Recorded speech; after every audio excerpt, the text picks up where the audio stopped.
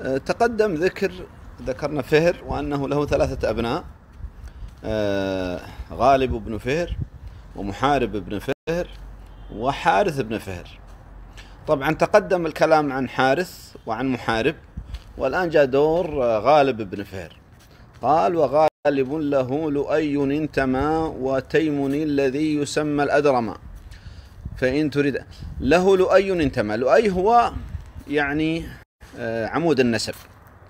وتيم هو أخوه كما أن غالب هو عمود النسب ومحارب وحارث آه، إخوة عمود النسب. عمود النسب يعني جد النبي صلى الله عليه وسلم أو رأس النسب. قال وغالب له لؤي انتمى وتيم الذي يسمى الأدرم. سمي تيم الأدرم الأدرم معناه نقص في العظام. وتيم كان يعني ذقنه ناقصا فسمي تيم الأدرم. ثم قال فإن تريد عزوا لتيم الأدرمي فلا تقل تيمي ولكن أدرمي. أنا أضحك من هؤلاء اللي يمشون معي. خليكم تشوفونهم. طيب. قال آه، فإن تريد عزوا لتيم الأدرمي فلا تقل تيمي ولكن أدرمي. يعني أن تيم الأدرم ينسب إليه آه، بالقول آه، الأدرمي. يقال فلان الأدرمي ولا يقال التيمي مع أن اسمه تيم. لأن هناك تيم بن مرة والنسبة إلى تيم بن مرة هو التيمي. فالنسبة للأدرمي للتيم الأدرم الأدرمي والنسبة لتيم بن مرة الذين هم رهط أبي بكر الصديق التيمي ورهط طلحة بن عبيد الله. فإن تريد عزوا لتيم الأدرمي فلا تقل تيمي ولكن أدرمي. ثم قال ومنهم ابن خطل الذي أمر بقتله النبي أرحم البشر يعني ومن تيم الأدرم آه، ابن خطل. وابن خطل الصواب في اسمه أنه عبد الله أو عبد العزى عبد الله بعد إسلامه وعبد العزى قبل إسلامه. عبد الله بن هلال بن خطل مسمى على مسمى عبد العزى في الجاهلية سمي عبد العزى يعني مسمى على عمه عبد العزى بن خطل وإلا هو اسمه عبد العزى بن هلال بن خطل. ولذلك جاءت في الروايات اختلاف في هذا هذه التسمية. فمنهم من سماه عبد الله بن خطل ومنهم من سماه آه، عبد العزى بن خطل ومنهم من سماه عبد الله بن هلال بن خطل. والذي يجمع هذه المعاني أن اسمه عبد الله بن هلال بن خطل. وهذا اسمه بعد الإسلام بعد ما أسلم. آه، ثم ارتد.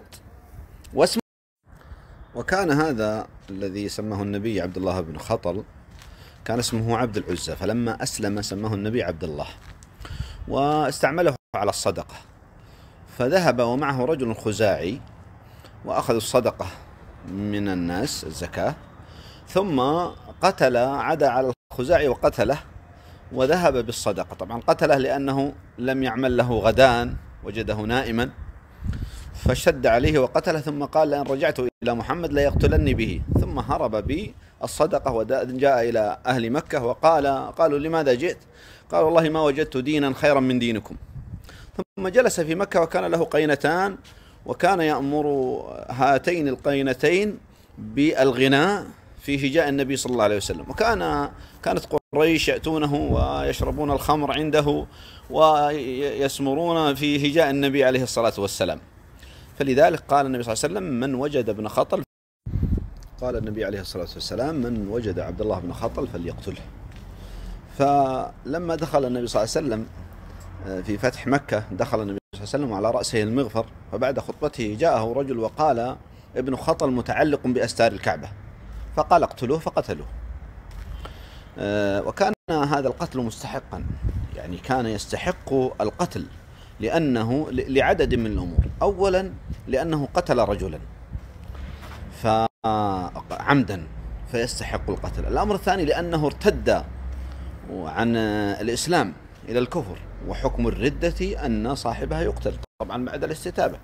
لكن هذا الرجل أيضا كان يهجو النبي صلى الله عليه وسلم ويأمر القينتين بالغناء في هجاء النبي صلى الله عليه وسلم. وهجاء النبي صلى الله عليه وسلم يستحق القتل أيضا. فكل هذه الأمور تدعو إلى قتله فقتله الصحابة وهو متعلق بأستار الكعبة. هذا ابن خطر وأما الآخر المذكور في الأبيات وهو ابن شيي شييم بكسر الشين. وابن شييم الذين للامل مستشهدا مع أمنا يوم الجمل يعني ومنهم ومن بني تيم الأدرم ابن شييم بكسر الشين و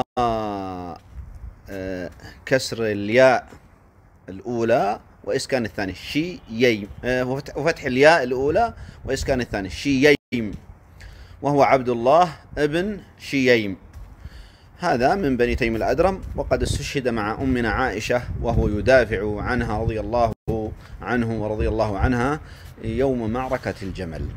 وابن شيي وابن شييم الذي نال الأمل مستشهدا مع أمنا يوم الجمل. هذا آخر ما عندنا اليوم. السلام عليكم ورحمة الله وبركاته.